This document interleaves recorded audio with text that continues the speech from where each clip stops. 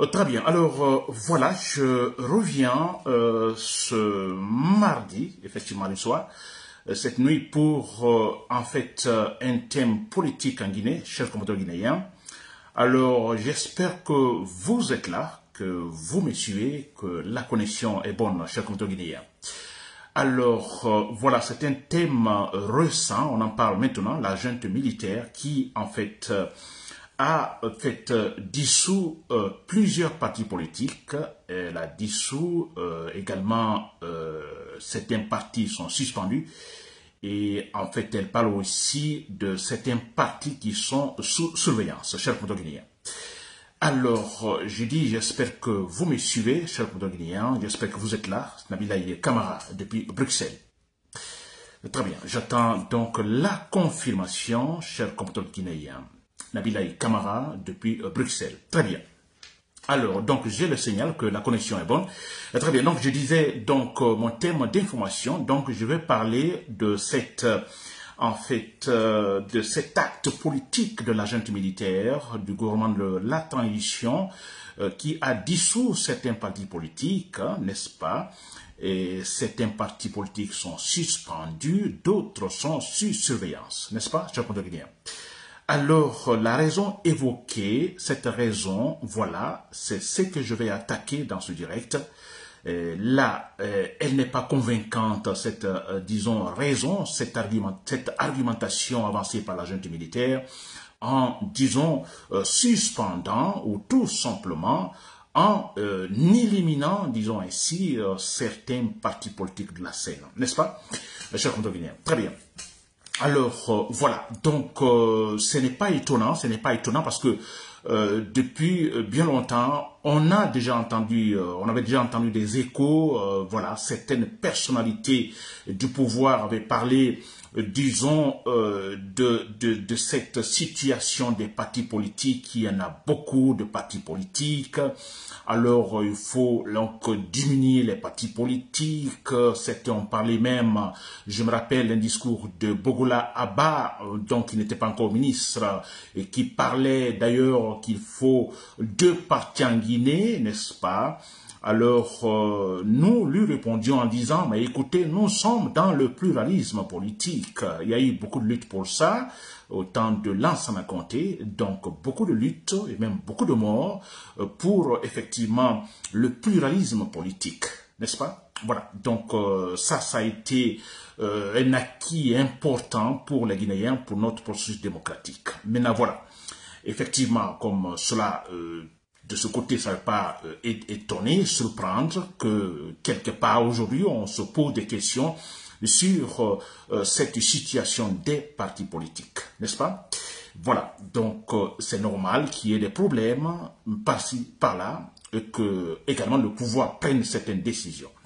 Voilà, alors pas n'importe quelle décision, et aussi avec des raisons, des raisons convaincantes, chers compatriotes alors, cette décision de la junte militaire, moi je dis, donc elle n'est pas convaincante. Effectivement, j'ai entendu certains dire, bon écoutez, euh, qui tout de suite euh, donnent la raison à la junte militaire parce qu'ils disent il y a trop de partis politiques. Hein.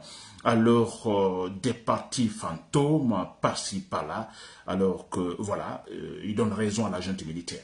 Mais ils oublient que, écoutez, il y a euh, cette, dans notre processus démocratique, il y a une lutte, une, une grande lutte pour cela, c'est-à-dire euh, l'acceptation de cet élément euh, importantissime, hein, disons, dans la démocratie, c'est-à-dire le multipartisme politique, n'est-ce pas? Donc, si les gens ont créé des partis politiques, et parce que c'est permis quelque part, n'est-ce pas? Très bien. Voilà, donc ça c'est les faits. Ensuite, hein, euh, les faits, euh, également, nous avons écouté l'argument de la junte militaire qui parle de, effectivement, non seulement euh, de, cette situation des partis politiques nombreux, ces partis politiques très nombreux, mais aussi la junte ajoute aux partis politiques ethniques. Voyez alors que oui, alors il faut dissoudre certains partis politiques et parce que la gente dit avoir noté en fait euh, cette euh, situation euh, disons, des partis politiques ethniques. C'est-à-dire les partis politiques sont en fait formés sur la base purement ethnique. N'est-ce pas? Et cette raison-là, cette argumentation-là, donc, n'est pas convaincante, cher Guinéen. Et ça, je vais l'attaquer. N'est-ce pas? Très bien. Euh, voilà. Alors, euh, ce n'est pas, comme je disais, ce n'est pas étonnant que, alors, euh, des partis politiques soient dissous, par exemple, vous comprenez, un parti politique légal qui, effectivement, un donné, ne suit pas, en fait, les règlements, n'est pas en règle, vous comprenez, ou commet des fautes graves, oui, le pouvoir peut agir, effectivement, par cette voie, effectivement, en disons tout simplement, retirant ces partis politiques, l'agrément de ces partis politiques. N'est-ce pas? Ça, c'est possible. Ou même, hein, euh, également, si cela, on contrevient effectivement la loi, euh, c'est-à-dire euh, un parti politique ethnique, vous comprenez, alors oui, un parti politique ethnique, si la loi l'interdit effectivement, peut-être aussi être dissous, n'est-ce pas? Pour cette raison-là. Très bien. Alors, mais quand un parti politique euh, est dit ethnique, n'est-ce pas, ou a tout simplement également, euh, disons, euh, des manifestations qu'on peut appeler ethniques, ou un parti politique formé sur la base ethnique.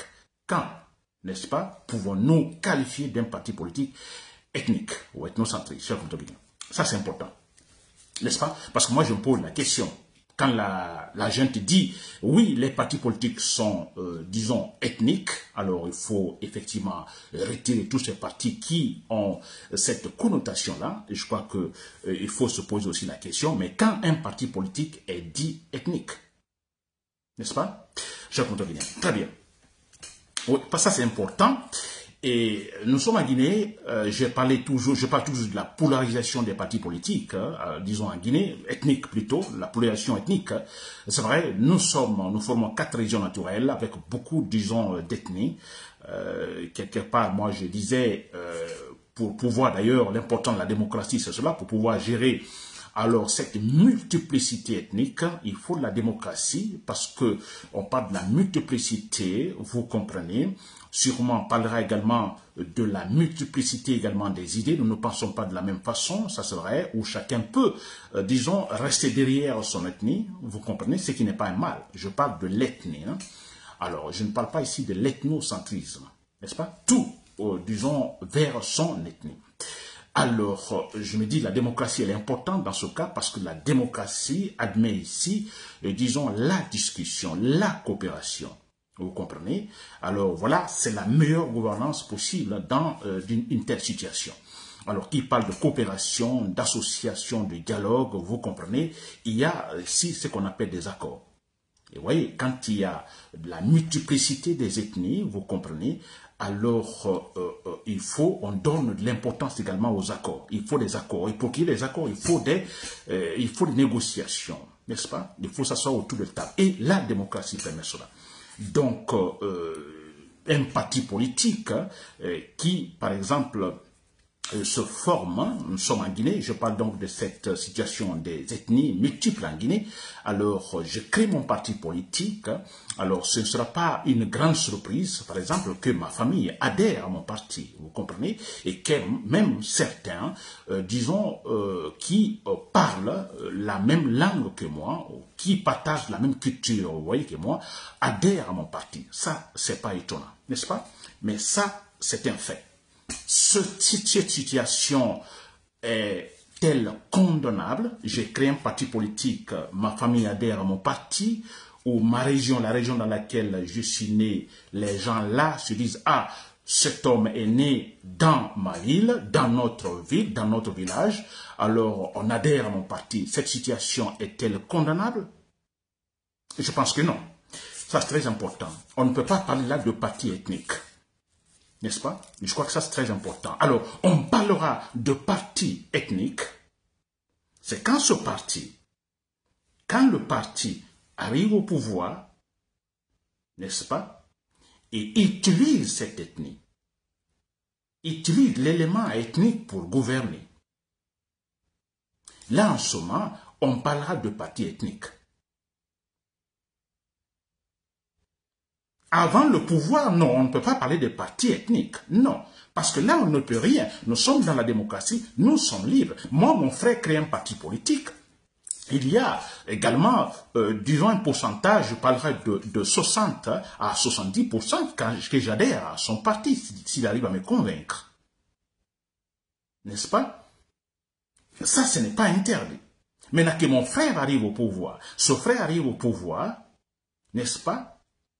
Et pour former, par exemple, ou pour également constituer, parce qu'il est au pouvoir, il doit appliquer son programme politique, disons, détaillé pendant la campagne, alors que ce frère utilise la famille, son ethnie, les gens de son village, les gens de sa ville, les gens de sa région, là c'est purement ethnique. Et là, parce qu'en ce moment c'est condamné par la loi. Le monsieur est au pouvoir, il est président pour tous les Guinéens. Ce n'est plus président, vous comprenez, de son parti, de sa région, de ceux qui ont voté, seulement ceux qui ont voté pour lui, mais pour tous les Guinéens. Et là, s'il utilise l'ethnie là, il utilise effectivement les gens de son ethnie dans la fonction publique, partout, même dans le gouvernement, on ne voit que sa famille, là il y a un problème. On parlera de parti ethnique. En ce moment, on parle de parti ethnique, très clairement, même ethnocentriste. Je crois qu'il faut bien faire la différence, s'il vous plaît. Bon, ça ne m'étonne pas que la junte prenne de telles décisions. Euh, euh, euh, je sais, vous savez, où, où veut aller la junte militaire. Nous savons tous. Ce ne sont pas les petits partis que la junte militaire cherche. Nous savons. La junte militaire veut les gros morceaux. Voilà, ça c'est autre situation. Mais on va essayer de raisonner. Parce qu'ils disent, parce que la raison évoquée, ce sont les partis en fait ethniques. N'est-ce pas? Voilà. C'est quand le parti arrive au pouvoir, il utilise son ethnie. Et là, on parlera donc euh, d'ailleurs de conflit ethnique. Politise l'ethnie en fait. En ce moment, c'est grave. Et là, c'est condamnable. Alors, que les partis politiques, beaucoup de partis politiques soient dissous maintenant, je peux me dire, oui, ces partis politiques peut-être euh, peut-être ne, ne sont pas en fait en ordre, n'est-ce pas? Ou en fait tout simplement euh, quand je dis sont pas en ordre, par exemple, un exemple, je donne que euh, certaines euh, situations financières vis-à-vis de l'État, disons, ne sont pas réglées ou ne sont pas en ordre, vous comprenez, et que cela perdure, alors la réaction du pouvoir peut effectivement aller dans ce sens jusqu'à effectivement dissoudre ces partis politiques, ou disons, retirer ces partis politiques, leur agrément. N'est-ce pas? Voilà, mais tous ces partis, en fait, que le pouvoir vient effectivement de retirer, donc euh, l'agrément, pouvons-nous les appeler partis ethniques? Ont-ils réellement violé la loi dans le sens où on dit alors les partis ethniques, il ne le faut pas? Je ne comprends pas. Aucun de ces partis politiques donc n'est encore arrivé au pouvoir pour effectivement, euh, disons, euh, mettre en action euh, disons, son idée, euh, disons, selon laquelle, bon, écoutez, mon parti, c'est mon ethnie, mon parti, c'est ma famille, mon parti, c'est ma région.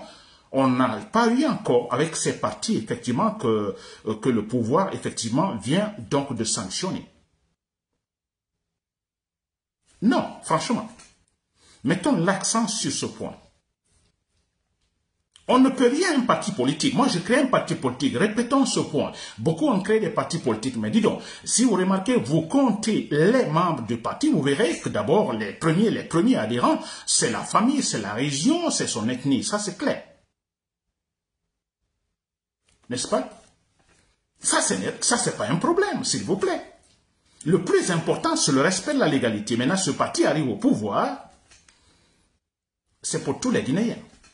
Le président, on dira le président, on dira le père de la nation, le chef de l'État.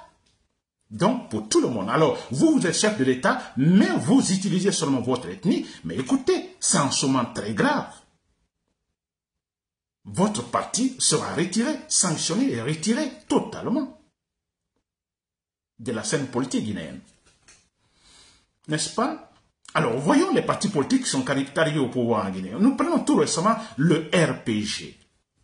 N'est-ce pas? Voilà un exemple de parti ethnique. Là, on peut parler de parti ethnique. Parce que le RPG, donc, une fois, est arrivé au pouvoir. Et quand, euh, disons, il est arrivé au pouvoir, qu'est-ce qui s'est-il passé? On a noté, effectivement, cette situation ethnique. N'est-ce pas? Le RPG qui, effectivement, alors, euh, euh, disons, impose cette politique ethnique. C'est clair. Le RPG euh, disons, la base à Cancan, en Haute-Guinée, mais on a vu les malinqués partout dans l'armée, partout qui dominent. Là, c'est inquiétant. Là, on peut parler de parti ethnique, ethnocentriste. N'est-ce pas? On peut parler de parti ethnocentriste, c'est cela. Voilà.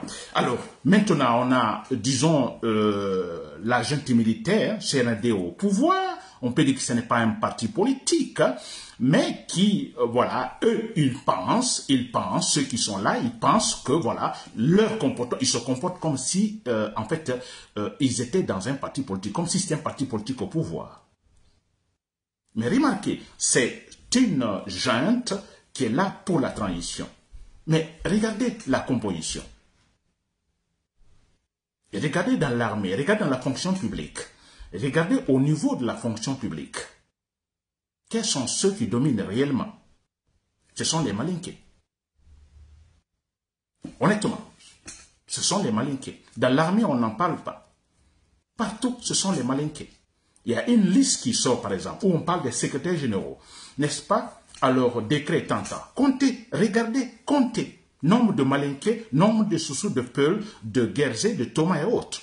Les malinqués dominent toujours, partout. N'est-ce pas? Là, on parlera d'un pouvoir ethnique, clairement, un pouvoir ethnique. Avez-vous pensé, l'agent militaire, que sur la définition exacte d'un parti politique ethnique, je pense que non, vous ne l'avez pas fait. Donc, je ne suis pas surpris si vous ne l'avez pas fait, parce que votre but, vous ne savez pas raisonner, vous n'êtes pas intelligent, là je l'ai toujours dit, mais le but ici, alors vous allez tout droit vers, effectivement, alors la suppression totale des partis politiques. Parce que vous visez le sécoutourisme, parti État, mais c'est cela. Bougola Haba l'avait dit, maintenant il est ministre, il avait dit, au temps de Sékou un seul parti, pas de bruit. Et dit, c'est la stabilité. Même si cette stabilité, nous savons tous, était imposée par, euh, effectivement, euh, euh, disons, c'est la peur. Donc le but, c'est cela. C'est ce qu'il cherche. Il, c'est le premier pas qu'il vient de franchir. Et c'est pour dire après, bon, écoutez, le multipartisme, non. Moi, je pense qu'il devrait commencer par là, parce qu'on a euh, notre processus démocratique entamé avec l'ensemble comté en 1984. Et il y a eu une lutte, hein, je le répète, une lutte totale pour le multipartisme. Et depuis là, les partis politiques se créent. Maintenant, un gouvernement ou une transition qui veut mettre fin, euh, disons, qui veut en fait dire, qui dit, non, écoutez, il y a beaucoup de partis politiques. Alors, la première des choses, c'est s'attaquer à cette loi, n'est-ce pas, à cette loi qui permet le multipartisme qui donne, disons, la liberté aux Guinéens de créer des partis politiques. C'est là qu'il faut s'attaquer. Alors, on ne se dit pas comme ça, bah, écoutez, il y a trop de partis politiques. Non, mais écoutez, c'est parce qu'il y a une loi qui permet aux Guinéens de créer des partis politiques. Alors, ne tournez pas autour du pot, n'ayez pas honte, dites tout simplement, n'est-ce pas, si vous êtes des hommes, dites tout simplement, alors c'est fini le multipartisme, ce n'est plus le multipartisme. C'est là que vous devez commencer.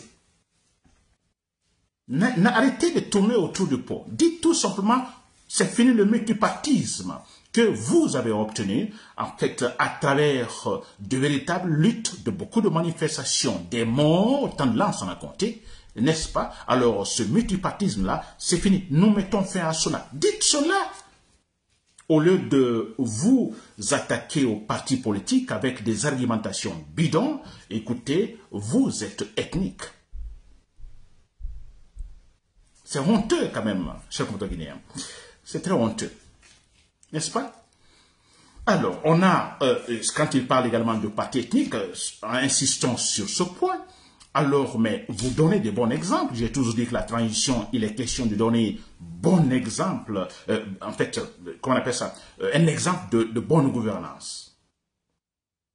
Vous ne le faites pas depuis. Et, mais c'est là, vous donnez, vous d'abord, vous donnez en fait un bon exemple de bonne gouvernance. N'est-ce pas que nous notions dans le gouvernement de la transition, maintenant dans la fonction publique, effectivement, une certaine situation d'objectivité, mais il n'y en a pas. Alors, vous voulez donner l'exemple, vous voulez dire que hein, hein, vous êtes désorganisé et vous voulez mettre de l'ordre dans les partis politiques. Mais c'est quoi cela? Quelle inintelligence N'est-ce pas? Donnez de bons exemples, s'il vous plaît. Mamadi Doumbouya, donnez de bons exemples. N'est-ce pas? L'armée, c'est quoi? Ce sont des malinqués, s'il vous plaît. Hein? Et vous dites aux partis politiques qu'ils sont ethniques, mais on a l'armée purement ethnique. On a un pouvoir, la fonction publique purement ethnique. Mais c'est quoi Vous moquez des partis politiques ou quoi? Moi, je suis d'accord. Les partis politiques qui ne sont pas en règle, effectivement, qu'ils soient sanctionnés, qu'on retire leur règlement, d'accord. Je dis bien s'ils ne sont pas en règle, s'ils ne sont pas conformes à la légalité, d'accord. Mais pas des arguments bidons, ethniques, ils ne le sont pas, s'il vous plaît. Ils sont jamais arrivés au pouvoir pour imposer leur ethnie, comme vous, Mamadi Doumbouya, vous le faites maintenant, comme Alpha Condé l'a fait auparavant, s'il vous plaît, arrêtez de vous moquer des Guinéens.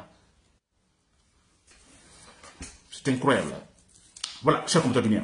Alors, c'était cela. Donc, vous l'avez remarqué, euh, le point d'irrationalité, c'est vrai. Alors, euh, ce point, retenez-le bien, les partis politiques, tant qu'ils ne sont pas arrivés au pouvoir, euh, disons, en faisant une certaine démonstration imposant leur famille, leur ethnie, on ne peut pas parler de parti ethnique, s'il vous plaît. Et c'est pourquoi nous battons maintenant qu'il y ait une véritable structure politique, une structure politique solide, n'est-ce pas, dans laquelle il sera tout simplement mentionné alors faites ce que vous voulez les partis politiques, mais une fois au pouvoir, la loi est là. N'est-ce pas? La loi est là. Le parti qui est au pouvoir, il est pour tous les Guinéens, pas pour son ethnie. Mais c'est très simple, que la loi soit là seulement. Maintenant, le parti qui ne respecte pas, le parti qui vient au pouvoir, il ne respecte pas, bon voilà, il a des problèmes. Et mais pour qui va en fait juger ce président? Qui va inquiéter ce parti politique qui arrive au pouvoir? Maintenant qu'il a tous les appareils de l'État dans sa main, qui va le faire? C'est là le problème. Et c'est là la transition doit résoudre. Des véritables donc, institutions responsables, des juges responsables indépendants, l'armée républicaine, vous comprenez, le président qui viendra, il ne, peut pas, s'il vous plaît, s'imposer. Il ne peut pas mettre la main sur les appareils de l'État, s'imposer. Alors, s'il commet une faute, il sait qu'il sera sanctionné. Pensez-vous en ce moment qu'il va déconner? Il va respecter les choses, sachant qu'il y a une armée républicaine, qu'il y a les juges indépendants, qu'il y a l'armée qui ne va pas le suivre quand il déconne, s'il vous plaît. Qu'il l'armée républicaine qui sera incorruptible. C'est là le combat. Maintenant, se battre pour une telle structure. Mais maintenant, non. Mamadi Doumbouya va gagner, va se présenter, va, disons qu'il se présente aux élections. Il crée son parti politique, il est candidat, il a son parti, il gagne les élections. N'est-ce pas? Mais que, que, que voulez-vous? C'est ça, purement ethnique, 100%. Déjà, il le dans la transition. Dans la transition, c'est purement ethnique. Les Malinqués sont partout. Imaginez maintenant, il est, il est élu, il est président, s'il vous plaît. C'est ça comme le temps de s'écouter. Alors, s'il vous plaît, arrêtons de blaguer. Euh, le sérieux, chers compatriotes dans l'armée, je crois que vous me suivez, vous comprenez mes raisonnements. Alors, euh, utilisez-les. Vous en avez également les vôtres. Utilisez-les, s'il vous plaît. Mamadi Mbouya doit tout simplement dégager. C'est des gens qui ne valent absolument rien. Nabila Kamara, depuis Bruxelles, merci beaucoup.